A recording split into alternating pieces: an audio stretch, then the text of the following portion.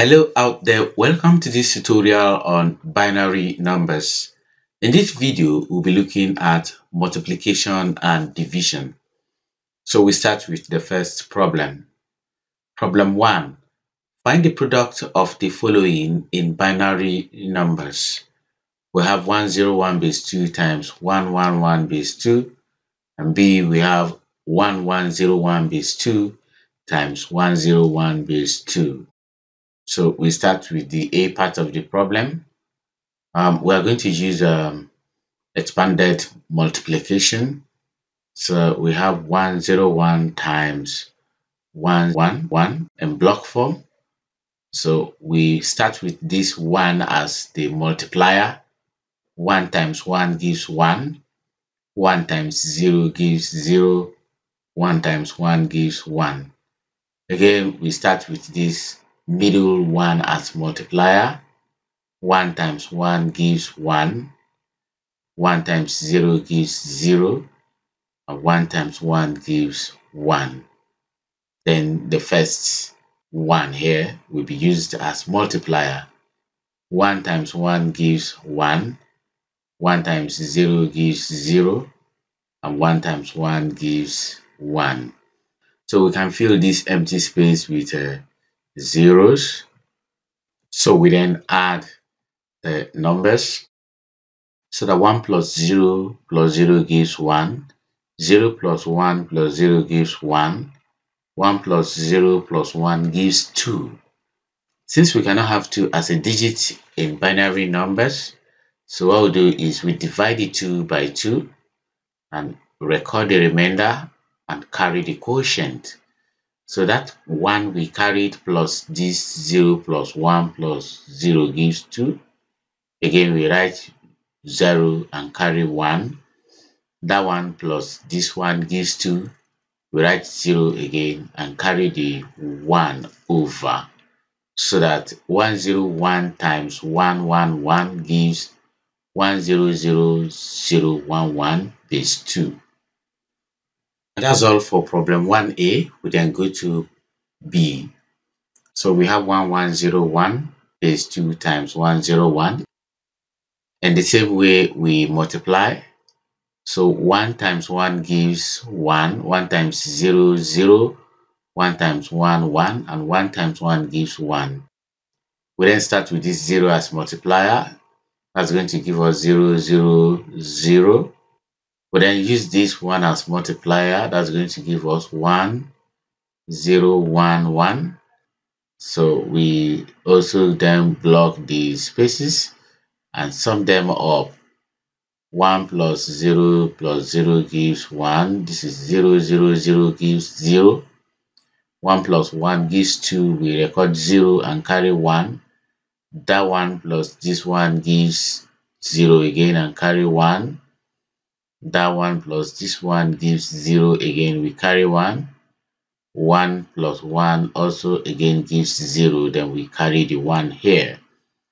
This is our result for multiplying 1101 base 2 by 101 base 2 so that's the end of solution to problem 1 we then go to problem 2 for problem 2 carry out the following division in binary numbers so starting from uh, A, we're going for long division. So going for long division, we have 1, 1, 0, 0, 0, 1, divided by 1, 1, 1. And if you pick three of the digits, the divisor is greater. So it cannot go. So we now pick the first four digits, which is now greater than the divisor and it can only go one time. So meaning if you divide 1100 by 111, you can only have one as the quotient.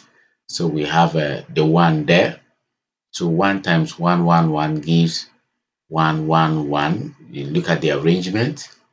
We then subtract. And our subtraction, we cannot say 0 minus 1. We're going to borrow this. We'll be left with 0 Bringing it here, it becomes 2. We borrow 1 from that 2. Getting to this place, we'll be left with 2. 2 minus 1 gives 1. Remember, we are left with 1 here. So 1 minus 1 gives 0. We are then also left with 0. We then borrow this 1. So making 2. 2 minus 1 gives 1. We then bring down this 0. 1010 is greater than 111. And if we divide 1010 by 111, it can only give you 1. So 1 times 111 gives 111. We subtract again. Um, we are borrowing this 1. It becomes 2. 2 minus 1 gives 1. We are left with 0. So the chain of borrowing starts from here. We borrow this one. It's going to be 2 when it gets to this place. Again, we borrow 1. This is 0 here because we have borrowed it here. So it's going to be 2 minus 1 giving us 1. Remember, we will now be left with 0 and here you'll be left with 1. So 1 minus 1 will give you 0. So we then bring the last digit, which is 1. So 1, 1, 1 divided by 1, 1, 1 gives 1. So 1 times 1, 1, 1 gives 1, 1, 1. When you subtract, you are going to have 0 please if you are finding it difficult for this subtraction and addition we did in problem one check the description section of this video on our youtube channel or on our website and get the videos on addition and subtraction of binary numbers. So that's all for problem 2a we then go to 2b um again long division. So we are going to have 1, 1, 1, 1, 0 divided by 1, 0, 1. Um, we're picking the first three since it is greater than the divisor and it goes only one time. So 1 times 101 gives 101. We carry out the subtraction. 1 minus 1 gives 0. 1 minus 0 gives 1. So this will give us 0. So we can ignore that. We now bring down the next digit. 101 divided by 101 definitely will give us 1.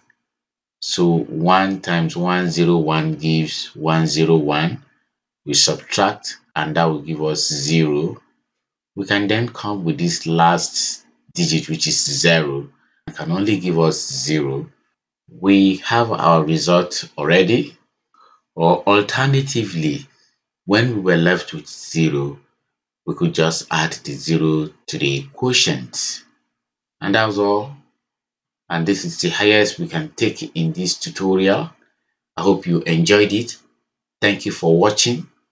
Until we come your way again, goodbye.